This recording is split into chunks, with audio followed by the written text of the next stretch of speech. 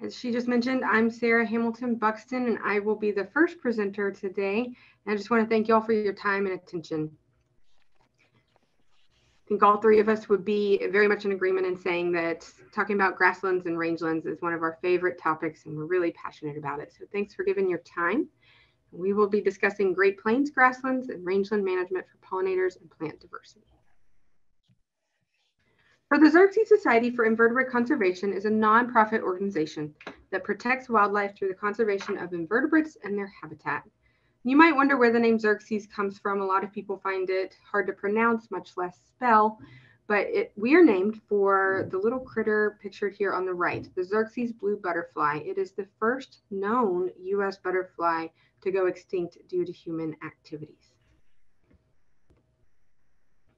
We're a relatively small organization, about 70, 75 employees now, but we do try to cover a number of avenues to um, approach and address invertebrate conservation. So we have a group of folks who focus on pollinators, um, also a program, a whole group of people dedicated to agricultural biodiversity that would encompass uh, mine and Ray and Ray's positions where we are partner biologists with NRCS, the Natural Resource Conservation Service. They're a federal agency who works with agricultural producers across the country. We have a group of folks um, that work on endangered species conservation, even more who work specifically on aquatic inverts, uh, folks who focus on pesticide issues, as well as urban conservation. Here's a map of where our staff is located. We were founded back in 1971 and our headquarters is in Portland, Oregon. So as you can see, we have a lot of staff on the West Coast, but that's certainly not the only place we're located. We are across the US and cover all of the US. So if you like and see, like and hear, like what you see and hear today, please consider becoming a donor. We are a donor supported nonprofit organization, which means we simply cannot do what we do without our wonderful donors and our wonderful members helping us out. So please consider becoming a member. To give you a sense of what all will be discussed today, especially with three presenters, we just kind of wanted to outline for you. Uh, again, I'm Sarah, and I will be covering ecological and social value of rangelands, as well as the loss of rangelands and pollinators in the Great Plains. I'll hand it over to Ray Moranz, who will cover threats to remaining rangelands, as well as best management practices for Great Plains rangelands. And then Rae Powers will wrap it up with the rangeland plant nutrition and critical actions to protect and maintain our rangelands. So here is a map of the rangeland acres in the US back in 2007.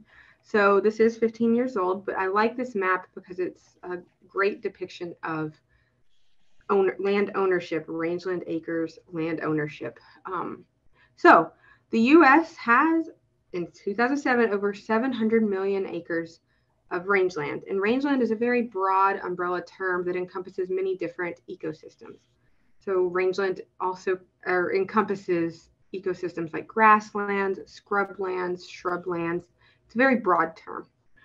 Without our rangelands, many of our pollinator species would disappear. And I put this in bold because I think it's so easy for all of us to think of pollinator habitat as habitat that we plant or create or convert cropland to pollinator habitat or our mm-hmm. yards to pollinator habitat. That's all wonderful um, and great pollinator habitat as well. But our rangelands, which as you can see encompass so many acres of the US, are really vital, critical pollinator habitat. We have a lot of pollinators that absolutely depend on rangelands. That's the only place that they occur. So the Dakota skipper is a butterfly that comes to mind in the northern Great Plains that has to have rangeland to survive. Regal fritillary is another species that is rangeland obligate. They, they must be on rangelands. Um, again, as I mentioned before, the this map is great to depict ownership. So the dark brown areas indicate privately owned rangeland. The tan or light brown areas indicate publicly owned rangeland. And as you can see here in the Great Plains, most of our rangeland acres are privately owned. Whereas out west, there's certainly some places where there's a lot of privately owned land, but by and large, it's publicly owned rangelands out west. And that's important, um, especially from a management implication. So privately owned rangelands are managed or can be managed quite differently than our publicly owned rangelands. In the Great Plains, privately owned rangelands are often owned by family owned ranching operations where they have that family has a really vested interest in keeping that uh, those rangelands, their ranching operation viable, both economically sustainable and profitable, but also ecologically sustainable, so that they can pass their their operation on to the next generation. There's also a lot of cultural and societal pride that goes into um, owning and operating a, a, viable ranching operation in the Great Plains. Um, excuse me. Also, the number of managers to acres ratio is quite different in privately owned rangelands versus publicly owned, meaning that a rancher in the northern Great Plains, and I would just ballpark an average number of acres that a ranching family is operating is anywhere from like uh, 1,000 to 5,000 acres. So that's a pretty good ratio compared to out west when you get into publicly owned rangelands where we have federal agencies managing tens of thousands of acres with a limited boots on the ground staff. So there's just some real differences to keep in mind when you're talking about publicly owned rangelands versus privately owned. So specifically, how are the Great Plains rangelands different from Western rangelands? And there's so many differences that we did want to dedicate just a few minutes to describe them. So number one, like I mentioned, rangelands is a very large, broad term. But when we talk about rangelands specifically in the Great Plains, as indicated in this green area here, we're really talking about grasslands. So landscapes dominated by grass. In the Great Plains, we receive more precipitation than the arid rangelands of the West. Uh, we also have, have less topographic diversity. We don't have the mountains that we have in the West. Uh, and then also we had two really important disturbance regimes historically here in the Great Plains.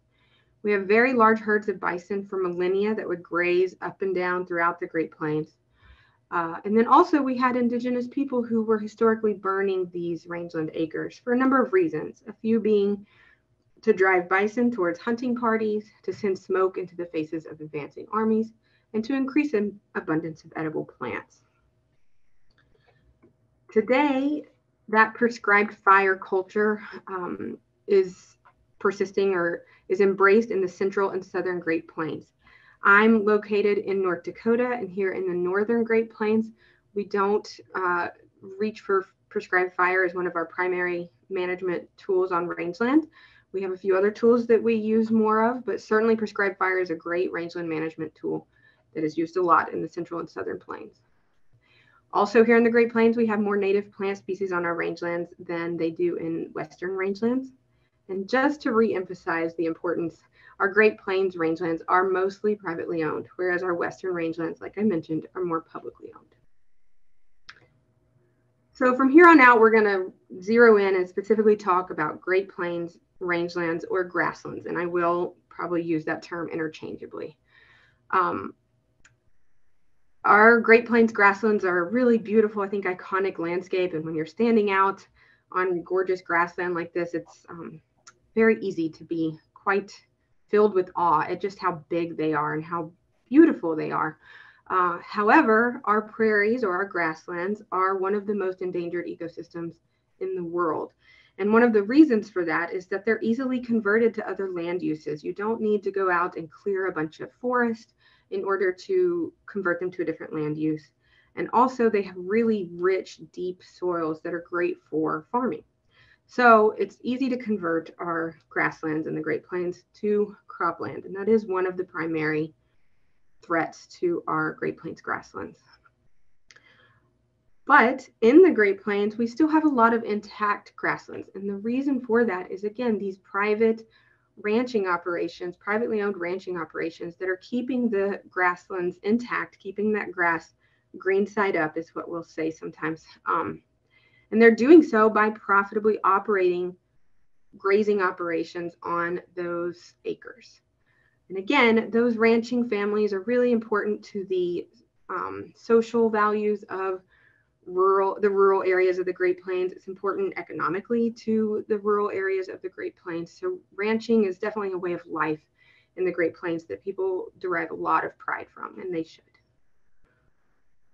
Also in the Great Plains, as I mentioned, very importantly, historically, we had uh, large ungulates, bison, grazing these areas as well as fire on these acres.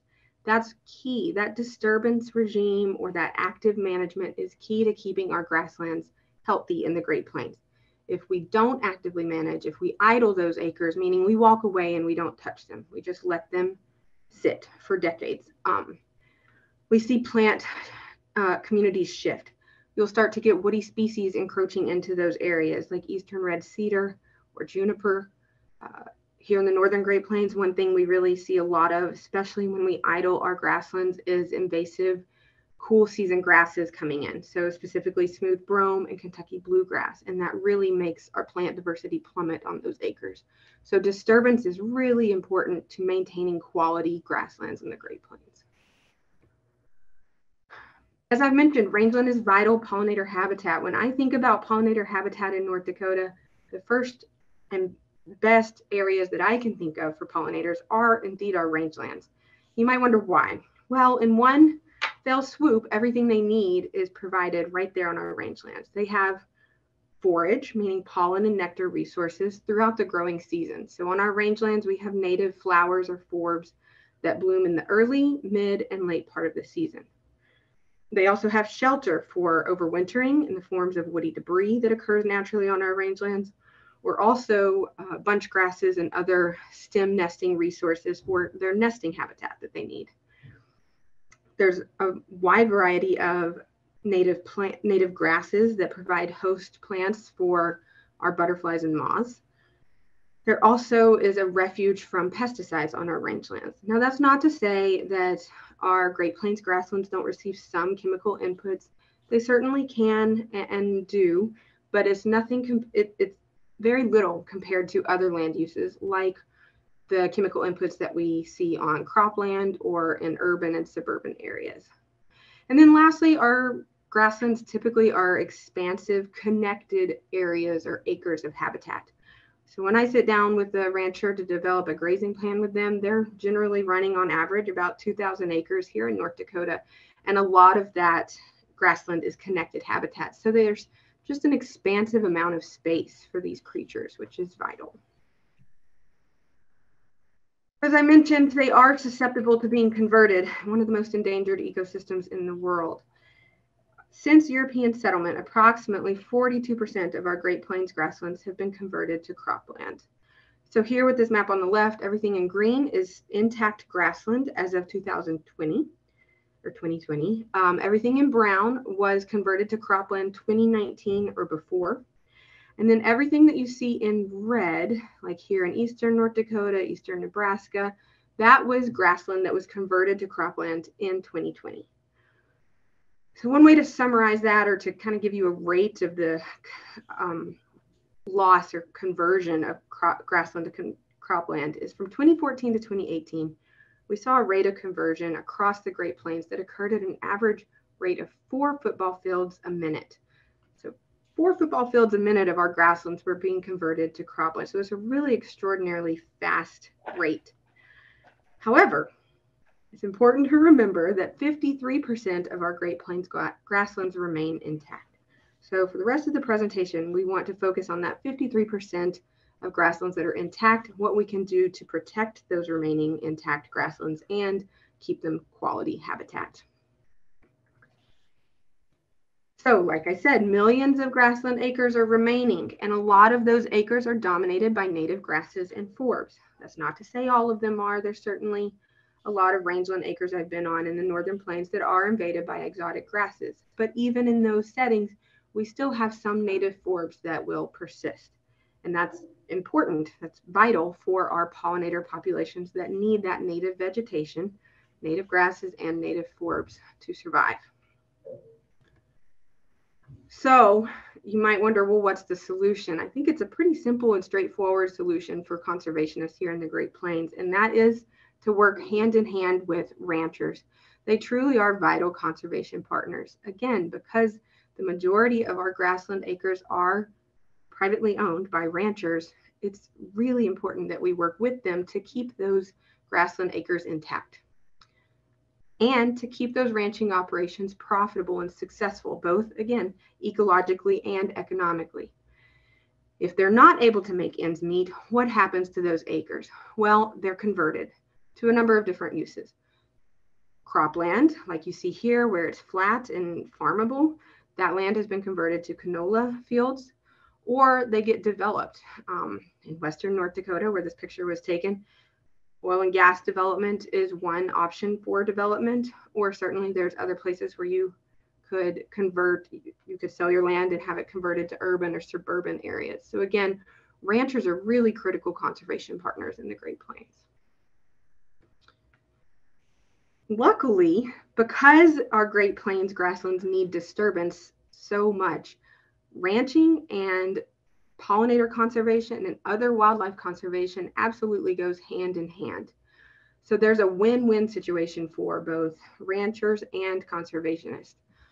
Um, this document that is pictured here on the left is a document that a few of us here at Xerces created specifically for agricultural producers here in the Great Plains to describe ways that ranching sustainably, again, ecologically and economically, is absolutely compatible and necessary for pollinator conservation in the Great Plains as well.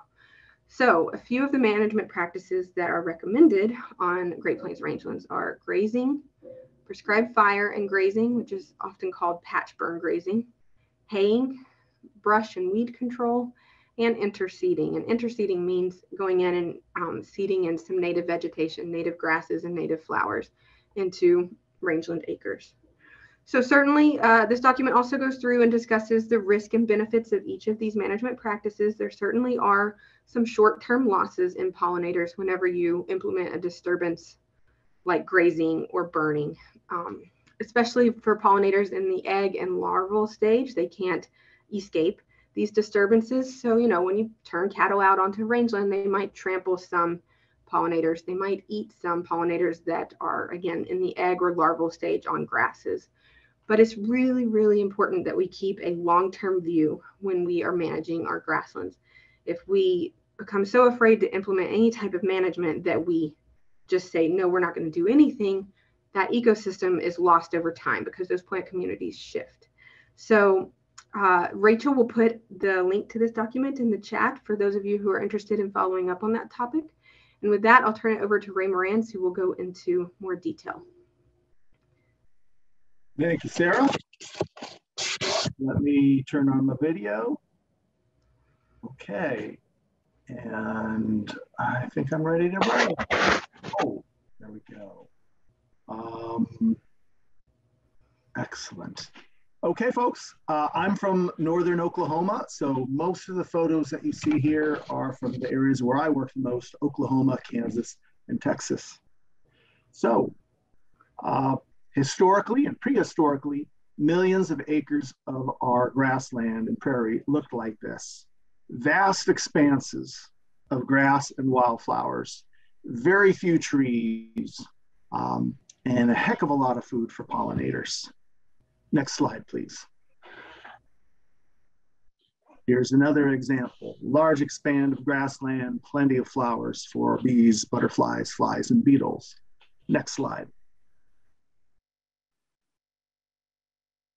This grassland hosted many, many pollinator species, uh, some of which are quite famous, like the monarch on the left, the regal fritillary on the right, which Sarah mentioned, and then a uh, many other species, but one I, I'm very interested in is the southern plains bumblebee. It seems to be on the decline. So these gorgeous prairies, these vast expanses loaded with wildflowers sustain many pollinators. Next slide. But now especially in the southern plains and the central plains, a huge amount of our rangeland has changed into this cedar forest. Next slide. Cedar forest has very little value to pollinators. This, this is a photo taken from inside a cedar forest. Look how shady it is. Um, um, not very pleasant. Next slide, please. This is a close-up to show you what's on the ground. Again, what you're looking at used to be prairie. Probably 100, 200 years ago, this was full of wildflowers and full of pollinators. But now it's just got cedar needles and very few things living in there except for cedar trees. This is a big problem. Next slide, please. How big a problem? Well, this map shows you how big of a problem. This map uh, is taken from an NRCS document produced by the uh, Great Plains Grassland Initiative, part of Working Lands for Wildlife. And if you uh, compare the 2000 map to the 2018 map, you'll see that in the map on the left, eastern, the eastern half of Texas and the eastern two thirds of Oklahoma already had massive problems with cedar and other juniper species way back in the year 2000 with uh, some woody plant encroachment north of Oklahoma. But look at the map on the right, and you'll see that in 18 years, the cedars have spread. They've spread westward in Texas, westward in Oklahoma. They've filled in some of the areas of Texas and Oklahoma where they didn't used to be. And now we also have a big problem with cedars in Kansas, the eastern half of Kansas, eastern third of Nebraska. Uh, you can see right along the South Dakota Nebraska border, and then the eastern parts of the Dakotas. We're talking about millions and millions of acres that have been converted from grassland into woodland and forest. And again, this is a major problem for pollinators. Next slide, please. Fortunately, uh, the federal agency that we assist through our work helps to fund control of cedars. They have a huge initiative going on right now to help remove the invasive woody plants like cedars and other junipers. So if you are a landowner in the Great Plains, please be sure to, to uh, go online and look for your local USDA NRCS office. They can provide technical and financial assistance. In this case, in the photo shown here, this is a ranch in southern Oklahoma that had massive cedars. These cedars were so tall uh, and so abundant, it would have been difficult to get them rid of them any other way except to use bulldozers and knock them down. Next slide, please. On our rangeland, a, a small uh, parcel of rangeland that my wife and I own here in Oklahoma, we had a huge cedar problem as well. And this shows the cedar forest, part of the cedar forest on our land in, in 2018. Next slide. I'm happy to say that we got some funding from our, our county conservation service to help with mechanical control of cedars. And I started out by getting chainsaws and thought I could get rid of my cedar problem and and uh, cut, a few, cut a few down and realized that it was way too big of a job for just me. Next slide. So we rented folks with heavy machinery. The machine on the right is a clipper. It clips tall trees down uh, very quickly. The machine on the left is a forestry shredder, a, tree shredder or forestry mulcher. You can see all the mulch down below. It turns gigantic cedar trees into mulch really quickly. And that's the main way that we got rid of cedars on our rangeland. Next slide, please.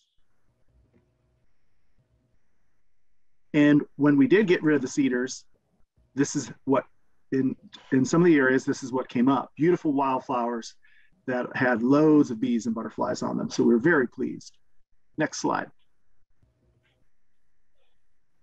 So I've mentioned mechanical control, but here in the Great Plains, overall prescribed fire is the most important tool for fighting the threat of woody plant encroachment.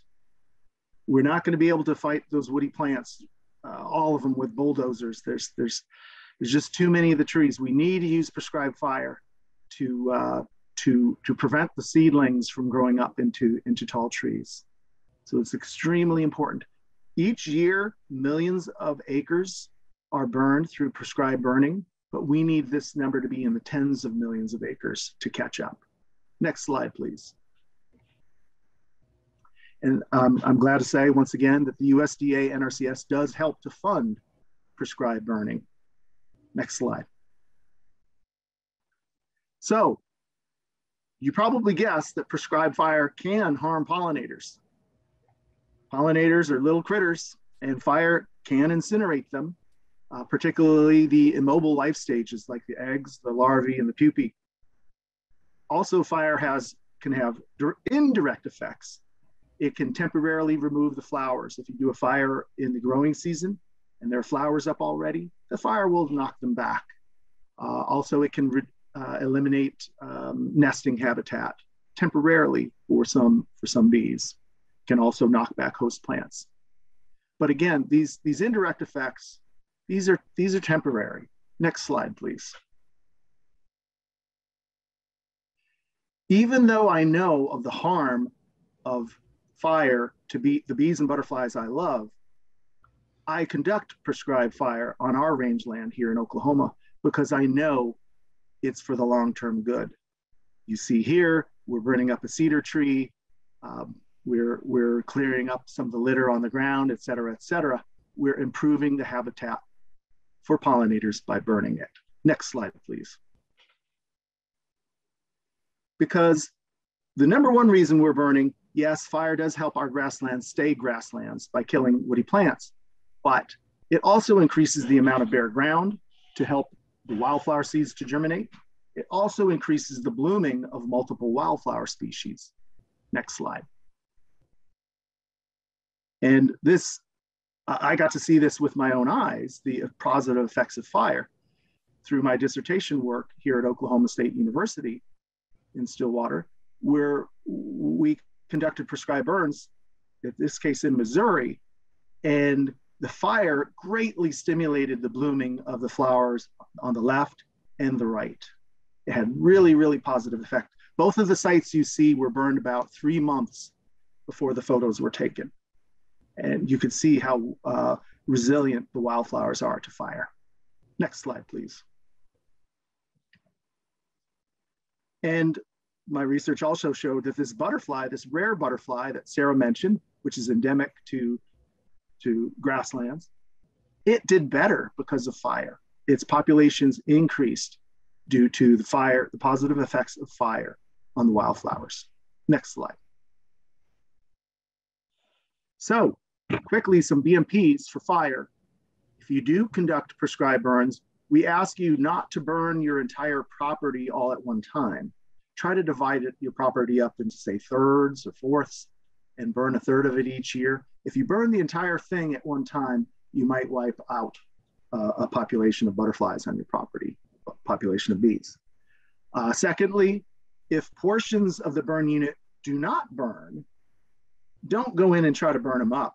Leave them be. They can provide little micro refugia for, for uh, rare pollinators rotate the season of burn, meaning don't burn the same time every year. Sometimes burn in spring, burn in summer, burn in fall. But most importantly, burn when you can. It can be difficult to find the right weather to burn, to find enough help to burn, but we need to get more fire on the landscape in the Great Plains. Next slide.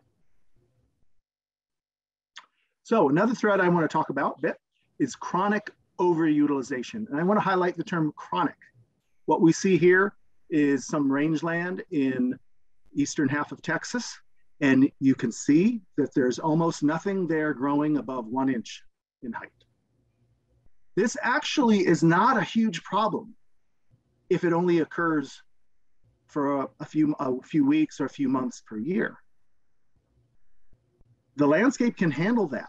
This is what the bison did for millennia. The bison would come to an area and graze really hard, graze it really short, but then they would leave and go somewhere else and graze that really hard. And the area would have a time to recover. This pasture here, that's not happening. This is chronic overutilization because it looks like this every year. And that's a big problem for pollinators. Next slide, please. Same thing in this example. It's grazed down to about an inch or two, which would be fine for a few weeks, a few months, maybe a whole growing season but not when it's like this year after year. The flowers don't have a chance to grow. Next slide, please.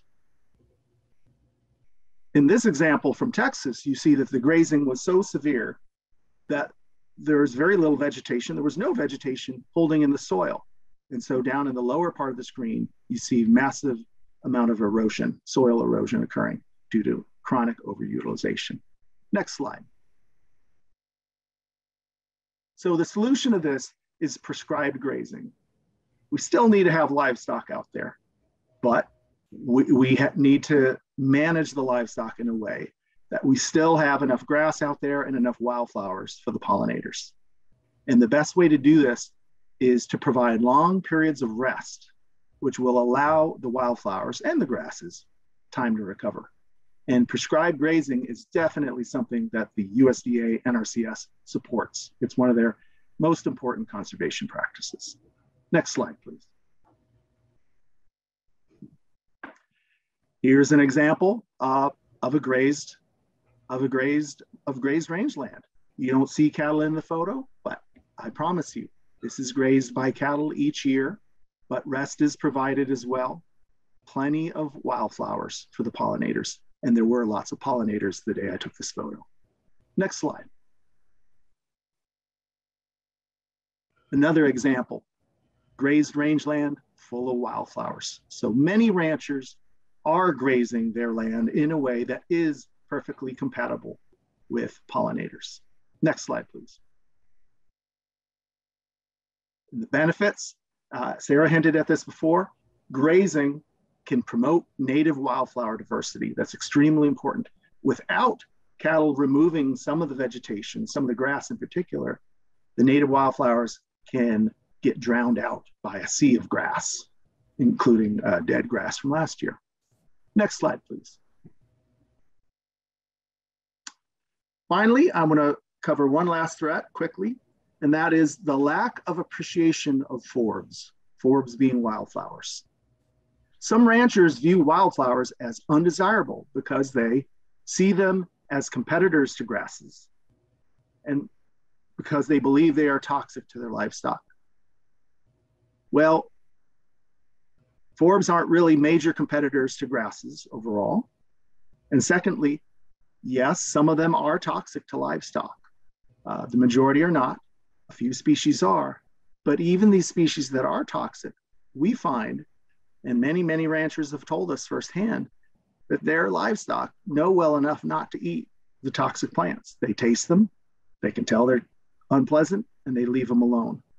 All of us have been on many, many large ranches full of wildflowers, including toxic wildflowers that are also full of cattle. The, and the cattle are doing just fine. So we're worried about the lack of appreciation forbs. Next slide, please. Those ranchers who think forbs are evil are spending lots of money to spray their entire ranches with herbicides from an airplane, unaware of the value that wildflowers have to livestock. So this picture, which I think is a beautiful landscape, I want you to look very carefully. Notice all the plants there are green. There are no, there are no bright colors there. It's all grass. There's virtually no wildflowers there at all because what you see here was sprayed with herbicide from an airplane. Next slide. Here's a close up to show you that gee whiz, it's all grass. It's all grass, no flowers. Next slide. So what we're looking at here is probably 50, 100, 150 acres. Imagine how many pollinators this could feed if it had wildflowers. It could have thousands and thousands of bees and butterflies if it had flowers. But let me tell you that this is part of a ranch that's tens of thousands of acres in size. So if this rancher had never started spraying to kill wildflowers, his ranch would have many, many millions of butterflies, including some very rare ones, bees and butterflies. So, so this is a major issue. We need to get ranchers, some ranchers totally get it, but for those ranchers who are spraying to kill all the wildflowers, we want to change their minds and make them appreciate the value that wildflowers have to their livestock, not just to pollinators, but to their livestock. And now it is turned for time for my colleague Rae Ann up in Nebraska. Thanks, Ray. And thanks, Sarah, for that wonderful introduction to Great Plains Rangeland. I'm Rae Powers, or Rae Ann, to distinguish me from Ray Moranz in Oklahoma. I'm coming to you live from my home office in Lincoln, Nebraska. Um, and I'm a partner biologist with NRCS, previously stated. Um, I provide technical assistance. Hey, Ray. Support. Yes. So sorry, you're cutting out a little bit. I don't know if you can go a little bit closer to your microphone. Yep. Thank Is that any better? Yes, much I will better. try Thank to you so speak much. up. Thank yeah, you. thanks for that, Rachel. Of course. Um, so I provide technical support um, and assistance across Nebraska and throughout the state of South Dakota as well. So Sarah and Ray and I sort of form the backbone of our of our rangeland team here at Xerces. And as we were working on that management document for pollinators that um, Sarah highlighted earlier, we really came across this knowledge gap in the literature. Um, oftentimes in wildflower field guides um, or other identification guides, you'll see some broad information about palatability um, of wildflowers for livestock. Um, it'll say things like, you know, this is decent forage, fair forage, poor forage. Um, usually there's not a reference to go to to find out, you know, sort of how that quality statement was made. Um, and there's little to no sort of value-based nutritional information um, or mineral content of these wildflowers, which is in strong contrast to what we know for both native and non-native grasses in this region. Um, they're both both native and non-native grasses have been extensively researched for forage value um, and mineral content, you know, across the region in different places on different soil types throughout the season. Um, so it just seemed like a really stark difference when we know that there's lots of really abundant wildflowers out there on the landscape. And anecdotally, we know that livestock are eating those wildflowers. Next slide. Once we sort of acknowledged this knowledge gap, um, we decided let's let's just do it. um, so in partnership uh, with NRCS, especially in North Dakota, North Dakota NRCS has been a great enthusiast and um, very supportive of this project. Uh, we went out to find out what wildflowers are providing for our livestock in the Great Plains. Um, so, what did that look like? Our first step was kind of to target regional wildflowers. We wanted wildflowers that were common and abundant, so we know they're making up, you know, at least some percentage of what a cattle could be eating. Um, we also wanted things that we were hearing from ranch managers or land managers that their cows were eating. Um, so we were kind of targeting things that were really abundant and hopefully tasty to cows. Um, and then we, along with a entire network of people throughout the Great Plains, went out and collected plant material um, out on prairies and rangeland throughout the region.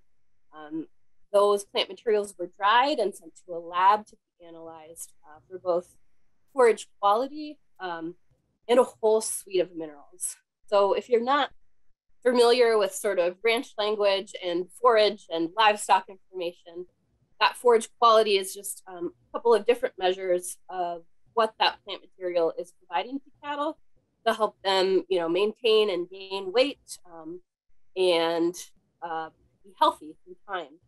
Um, minerals can be any of a, a, whole suite of elements that are supporting um, growth and reproduction in cows. Um, and if you've worked at all in human health, you know that a lot of times those mineral levels can interact with each other. It's a, it's a, pretty complex data set that we're looking at. But um, those minerals are critically important for a number of livestock measures that our ranchers are interested in. Um, and the goal uh, in the next year or so is that we will incorporate um, those results into a wildflower guide, um, actually a couple of regional wildflower guides that can be shared with the stakeholders within the region. So um, those folks that Ray Moranz work, works with in Oklahoma um, can see this literature about, you know, these wildflowers that you see on the roadsides, but that have been sprayed out of your pasture um, are actually really great for your livestock. Next slide.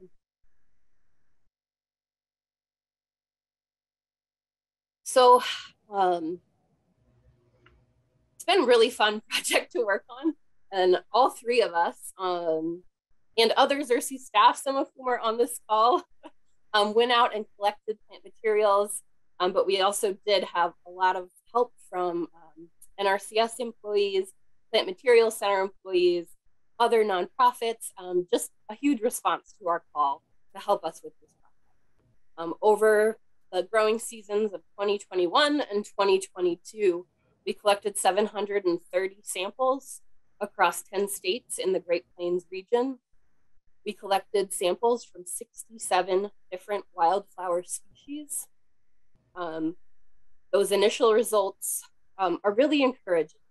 And uh, the team right now is really just sitting down and digging into some Excel files to try to have more information to share with people, sort of sort out how to interpret this data and what is best to share.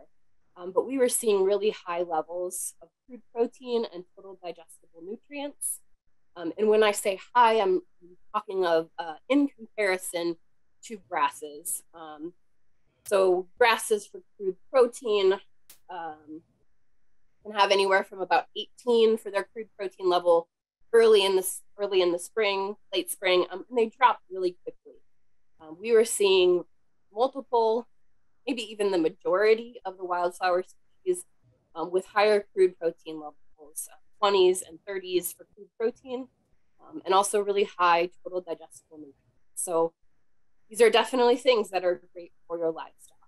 Um, we were also seeing really high levels compared to grasses of important minerals for cattle health, like like copper. Um, and for the most part, the vast majority of the plants we looked at did not have toxic levels of these minerals. Um, so a lot of times ranchers will supplement some minerals, um, and that can be really expensive. So I think um, disseminating this information that some um, wildflower species are high in copper. You don't um, you can maybe rely on those to provide high levels of copper is really important. Next slide, please. Okay, so um, those wildflower guides and any new information on this project will be found on our Xerces Rangeland website.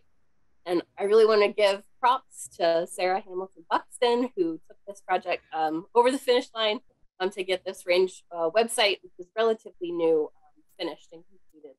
So this is what it'll look like when you bring up the link. And I think, uh, oh, Rachel already put it in the chat. And that management document that we linked to earlier can be found on this page. So once we get those regional guides um, up, they will be posted here um, and you can download um, and this is also a great place to just kind of keep an eye on what Xerces is doing on Next slide, please. Okay, so Ray kind of went through management actions on rangelands to protect pollinators and to save our grasslands. Um, if you're not a rancher, you don't own, lease, or manage grasslands, I want you to know that your voice and your actions are really important for saving grasslands in the United um, and there's a number of ways we can support grasslands here in our country, and I'll walk through kind of three broad categories um, of actions you can take to support grasslands as a non-owner or manager. So the first sort of category I'll go through is at the grocery store. How can we save our grasslands at the grocery store or at the food co-op? Um, and I want to preface this by saying that food selection and diet is a really complex issue that has a lot of environmental impacts and the decisions we make um, are based on a wide variety of inputs, um, including culture, availability, budget, um, any number of things. So I just don't want to be prescriptive in these recommendations. I sort of want to outline choices that can have a positive impact um, for grasslands. So if you live in the region um, and you know of a producer who's doing really good conservation work on their ranch, um, buy their beef, buy their bison um, when that's available. That's a really concrete way to support that ranch family um, and help them continue that tradition of conservation on their land. We repeatedly find in research studies that ranchers trust other ranchers. And so by supporting a ranch that's doing good conservation activities, you're probably having an outsized impact on conservation in the region because those conservation minded ranchers tend to talk to their neighbors um, and tend to be part of grazing associations and tend to share the message that they're being successful. Um, so they can have a bigger impact um, than someone from outside of the community coming in and telling them how to graze or what to do. This can be a little bit harder if you live outside the region or you don't have those connections. Um, however, you can find some of these producers online more and more. Um, a good place to start is if you have like a state-based food co-op or a sustainable ag um, group in your state to start to find some of these good producers. You can also consider purchasing beef or bison from a tribal entity. Uh, historically and currently, we have a variety of tribes that are living in the Great Plains and doing conservation work. And maintaining those linkages to the land and the cultural heritage is critically important. Um, so if you can find a tribal entity to purchase beef or bison from, I would encourage you to do that. The Audubon Society has um, a beef certification program, and I put the logo up on the slide there um, bird bird friendly land or bird friendly. If that's available to you, uh, that's a program that really has sustainable grazing practices required for their participants. And it also includes monitoring of birds, plants, and other wildlife on these ranches. So that's a really great option if it's available. to You can also choose third party certified grass fed products where they are available. Um, this is going to be through a number of organizations. There's like an American Grass Fed Association, um, an organization called A Greener World has a grass fed certification. Um, another one I found was True Beef. Um, so that's something you really need to look at what their requirements are. Um, but all three of those I listed are have more stringent requirements for how much time is spent on grassland than our USDA grass fed um, label does. So that third party certified grass fed um, is often more grassland positive um, than the USDA option might be. But finally, if you are finding grass fed beef and or bison in your grocery stores with the USDA label, that does mean that those cattle um, after weaning are raised on grass-based forage and have access to outdoor pasture. So that's another good option um, if available. Next slide.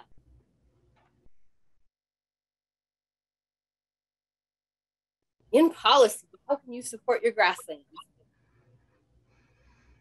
I would encourage you to call your senators, which can be, uh, it's not fun. it can be a little bit intimidating, but um, there are several important um, conservation based legislation coming forward. Um, so the North American Grasslands Conservation Act, you can find more information um, at that link there at the actforgrasslands.org. Um, but this is basically um, some legislation to provide more resources for voluntary incentive-based conservation of grasslands. I'm sort of building on a lot of the work that we do at the USDA and the NRCS, but providing um, a dedicated fund to grasslands it also includes some overarching planning for grassland conservation in the United States, which we don't currently have. Um, I believe that was introduced to the Senate this summer and is currently in committee. Um, Recovering America's Wildlife Act is a really monumental piece of legislation that I highly encourage you to call about in the short term. Um, this is legislation that will provide a vast amount of funding for states um, to do conservation with their state wildlife action plan. Um, and this has a decent chance of having some movement um, just still throughout the end of the year. It would probably be tagged onto the omnibus of federal spending. Um, so making that call in the short term is really important.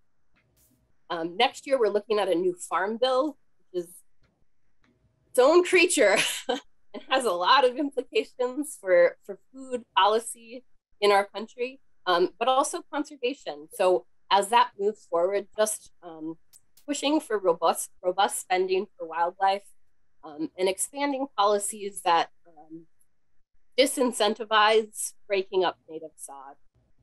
also, when and if you see threats to the Endangered Species Act, um, I urge you to put a call in um, and really push to maintain that as a strong law to protect our endangered species. Next slide. So a lot of NGOs do some policy work as well. So supporting NGOs and also governmental organizations in your community.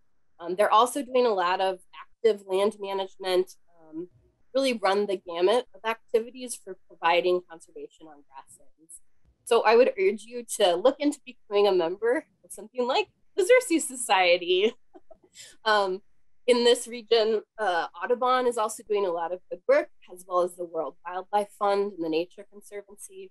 Pheasants Forever and Quail Forever is another organization that partners with a lot of um, prairie conservation groups. Um, also, wherever you are, there's really wonderful local and regional groups um, to help conserve and support prairies. So I urge you to look outside and find what you can to best support what's in your area.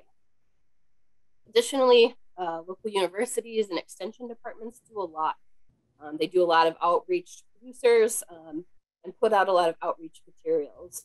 Um, whatever form you have of conservation districts in your state, um, I encourage you to get involved with the conservation districts. They can have a lot of impacts on the type of management that happens on a local level. Next slide. Um, and sort of everywhere else in your life. um, contributing to communities in the Great Plains region is really helpful for these grasslands and to help maintain these ranching families. Um, and we would love for you to come visit if you're not from here. And if you are from here, um, go outside and explore those places. Um, ecotourism has been a really viable way for some ranching families um, in my state to continue ranching. Um, so go and visit a working ranch um, and see some blowout penstemon plants or a prairie chicken lek. Uh, please come to the Platte River in March and see the sandhill crane migration. Uh, we would love to have you. Additionally, um, hunting and fishing provide a lot of dollars for conservation. Um, and those leases on ranch land for hunting can be another um, means of supporting a ranch family. Uh, finally, spread the love. This is a really underappreciated part of the country. You know, I think the coast really see us as flyover country. Um, so just expressing how much these grasslands mean to you and what we hold um, and what really just uncountable value they have for wildlife and humans um, is really important. Next slide. Um, so this is sort of a concluding slide. This was um, a quote from a producer um, in a paper. It's actually out of Saskatchewan, um, but I really liked it um, because it's not prairie by definition that provides species. It's how the prairie is managed that provides the habitat. It's not who owns it or who protects it. It's who manages it in the best manner that provides habitat for the individual species. Um, and I have a weird juxtaposition here of my son looking at a mantis in the background. But I just really wanted to call out the importance of land managers for maintaining these really valuable landscapes for the future generation. Um, I want my son to be able to see a Southern Plains bumblebee, and I want his kids to be able to visit these grasslands and have them in a healthy state.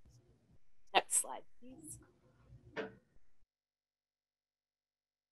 So um, we have a variety of resources at Xerces that are available for download.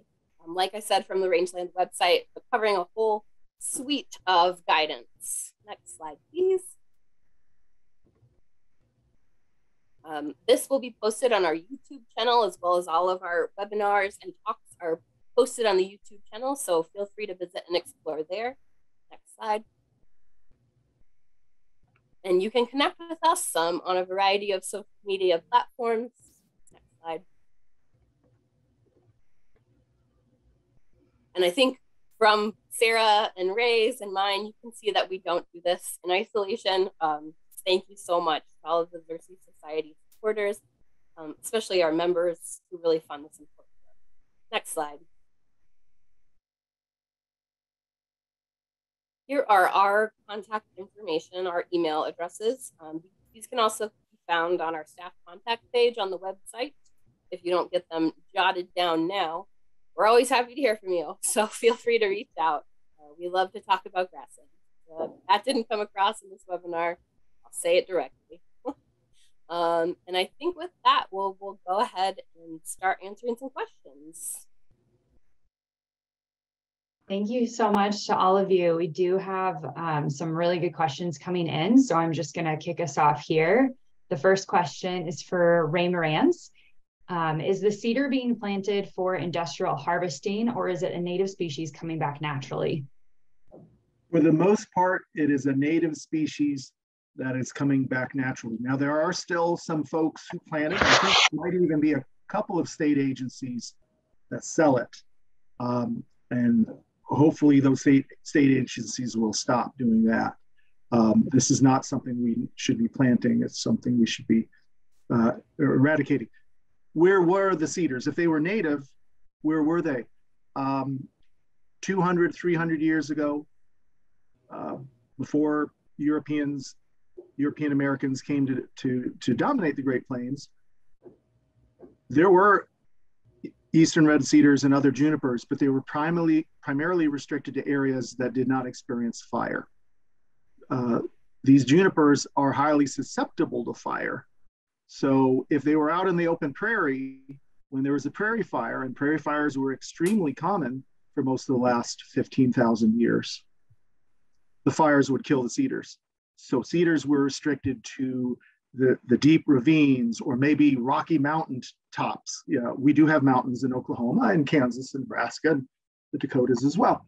And, and we had cedars on some of those rocky outcrops and there was no fine fuel there to carry the fire into the cedars. So cedars are native, but they are invading the grasslands now that we have greatly, for the last 150 years, have greatly reduced the amount of fire on the landscape. Thank you so much, Ray. And I did want folks to know we are at the hour, but we're going to go a little over time um, to answer questions. So if you can hang in there with us, great. If you can't, this will be recorded and provided on our YouTube channel if you want to watch the question and answer session later. All right, next question, Rae Powers. Do you know if endangered or threatened bird species are moving into the cedar groves? The US bird population has been declining rapidly. Can we protect both pollinators and birds by protecting some cedar forests if the cedar forests are home to endangered or threatened birds? So um, as Ray commented, the eastern red cedar is a native plant to this part of the world. Um, the invasion is really due to a number of issues um, and it's growing where it shouldn't be growing. Um, and probably some of our birds that are most at risk are our grassland birds. Um, I also doubt that these really uh, monoculture cedar stands are good habitat for many birds. Um, simply because most of them really require invertebrates, um, especially in different stages of life for survival and reproduction. And you really are losing that with these, with these unique cedar invasion groves. So um, maintaining grasslands as grasslands is really important for many of our bird species. Um, and even small percentages of forest cover or even a single can really impact our grassland birds um, because it leads to really high predation rates by some of our raptors who then move into that community and are able to perch um, on that tree. And so we do see even, even small changes in our grasslands can have outsized impacts on our grassland birds. And Ray, you wanted to add something?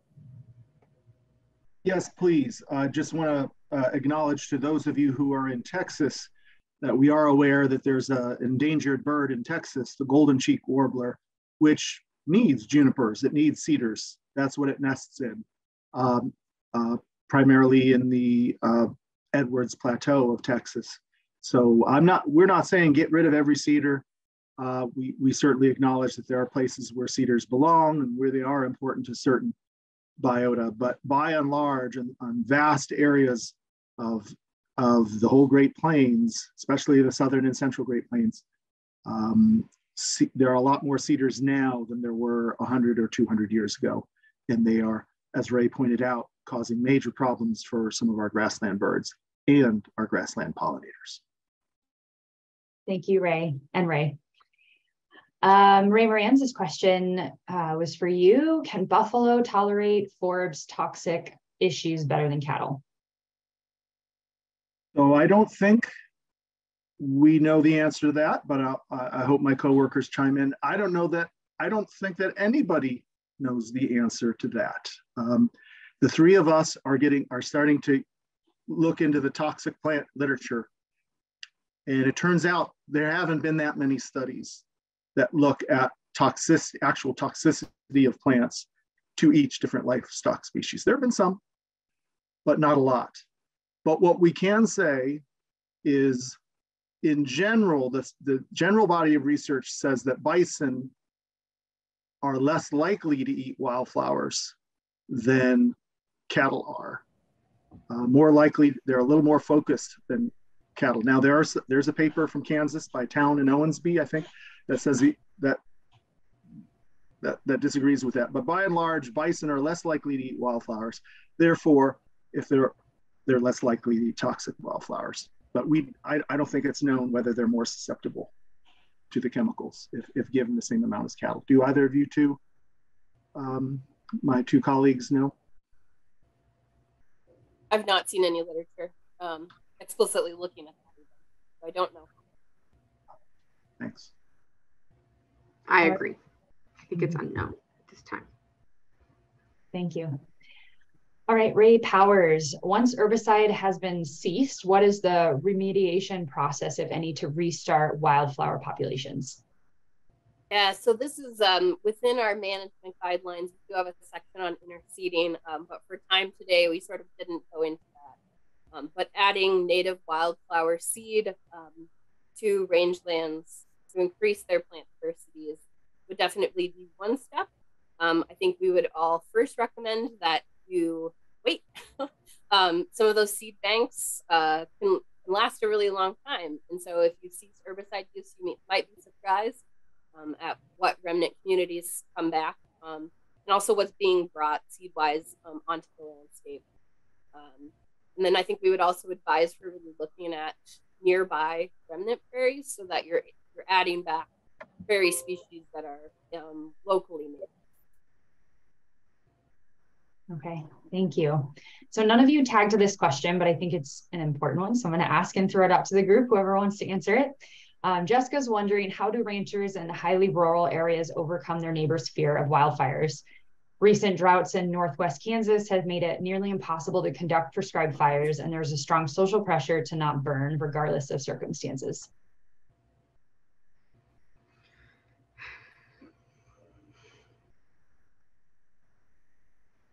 You go first, Ray Moranz. I was volunteered because this is a very it's a very tough question. It's yeah. it's not not easy uh, to convince folks to burn. Um, you know, Sarah knows so knows that because um, the great majority of ranchers she's she works with do not burn, and probably would get a little upset if, if she suggested they burn. Uh, I may be wrong there, but um, hopefully uh, show folks the research showing uh, how well plants do, including the grass and wildflowers that, that their livestock eat. Um, fire greatly stimulates um, production of fresh, nutritious biomass, whether it is grass or wildflowers, and that is forage for livestock. Um, so um, I don't have the magic formula, but presenting the research to folks. We probably need more research from Northwestern Kansas uh, on the effects of fire. I think there's very, very little. I think the great majority of fire research has been done in the tall grass prairie and maybe mixed grass, uh, eastern mixed grass rather than the, the uh, western Kansas, the mixed grass and short grass out there. But we, we need to show folks the facts that uh, that the landscape does recover and the, the plants are nutritious for livestock after a fire. I think too, um, some of that work is on us and on um, prescribed burn associations and conservation professionals to keep spreading these messages and making it more okay to burn. Um, but I also think a critical component of that is having an early adopter. Um, in the north central part of Nebraska, there really wasn't a lot of burning happening on our eastern sandhills area. Um, but once you kind of get the crack in and you get one rancher to burn, the adoption in the area really grows um, because your neighbor sees that new green grass growing. They see the healthy cattle on your side of the fence. And so I think it's really up to everybody. Um, and sometimes just taking that first step can be really scary and you might get a lot of blowback for it. Um, but in the long term, you're probably making a really big difference. I would also like to chime in and say, um, you know, if I put myself in a neighbor's shoe and I hear my my neighbor is burning and I'm quite nervous or it's very dry, I would want to hear from my neighbor who wants to burn some mitigation techniques they have in place, like creating fire breaks. They're only going to burn on days where the wind is under a certain speed. Who are they going to have administering that prescribed burn? Is it people who have done this before? You know, people who are trained, highly trained in this. Um, and then also to Rae Ann's point, I think um, if if there's some state, like maybe some state university land comes to mind for North Dakota, or some publicly owned lands where there isn't a private ranching family who has their bottom line on the line for a prescribed burn, but there's some public lands or some state owned lands that can be that demonstration farm or that demonstration land that Rae Ann was just mentioning as kind of a first step. I think that's great. Um, that could be a great place for the community to start then they can come out and see the effects of that burn, see how that burn was conducted safely. Um, but it's not a private ranching family who's who's put a lot on the line potentially um, to do that technique. So I think that's some other great ways to maybe go about it.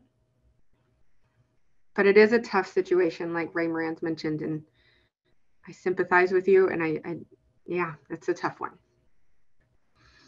Thank you all so much for answering that.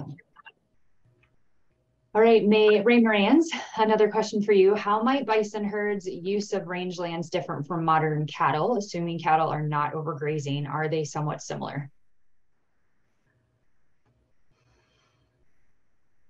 They can be similar. Bison, if if you take 10,000 pounds of live bison, you know, bunch of cow calf pairs of bison and a bunch of uh, cow calf pairs of cow calf pairs of cattle and put each one in a one acre enclosure, they're probably going to graze pretty similarly. But when, if you have them on a big landscape, uh, bison are uh, less dependent on water. So they're going to roam far and wide. Cattle can roam quite a bit, but they need to stay close to water sources. Uh, and again, seems like it seems like predominant research says that cattle are going to eat more wildflowers, a little bit more wildflowers than bison are. Bison are more grass focused. Cattle are focused on grasses and wildflowers. Thank you. Uh, Rae Powers, Alex is wondering they sell their beef direct to the consumer. They approached the Audubon Society about their label. They recommended that they do rotational graze and talked about using language that described mob grazing, a no mention of fire. Have they changed their recommendations on grazing for birds? Um, I think that program has changed a little bit through time. Um, however, I would also note that sometimes those targets that they're looking for for birds is very short cover. And as Ray Moranz mentioned, having that what many ranchers would consider overutilization of a pasture from a plant diversity, wildlife, and forage standpoint is okay as long as it's given sufficient rest time, which I do believe is part of the Audubon standards. So a lot of the recommendations from NRCS, um, even to present day, has been sort of take half, leave half when it comes to forage um, which certainly is a sustainable way of maintaining grasses, but sometimes can lead to grass dominance as they outcompete wildflowers when you leave that much above ground materials.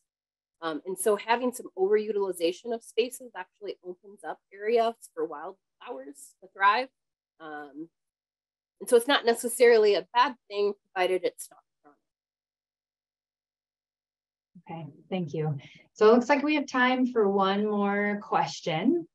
Um, Raven is wondering if you're seeing any trends in non-native forb species dominating after burning in the flames.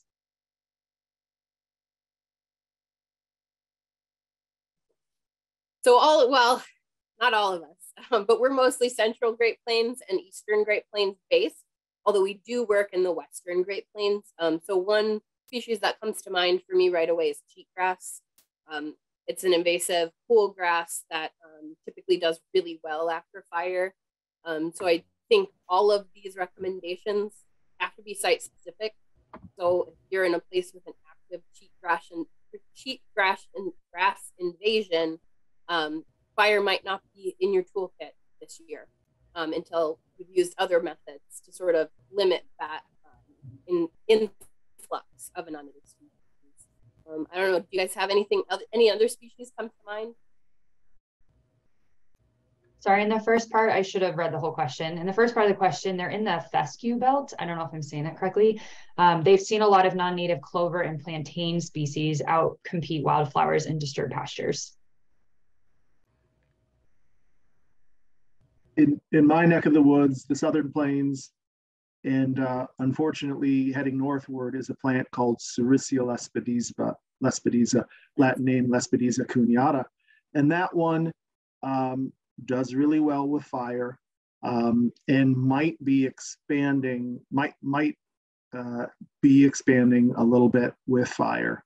So that is one where the Nature Conservancy, for instance, in Oklahoma, is using herbicide to kill that.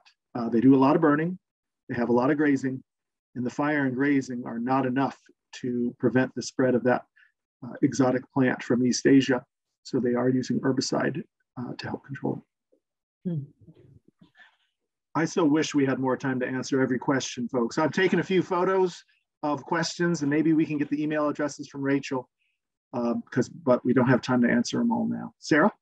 Rachel, I just want to chime in really quickly. I'm having issues with the Q&A app here, but I did see a question about if we're associated with conservation districts. And yes, all three of us through our partnership position are associated with NRCS field offices and the conservation districts located in those field offices. So that is a part of our outreach. The follow-up question was then, what's your outreach strategy?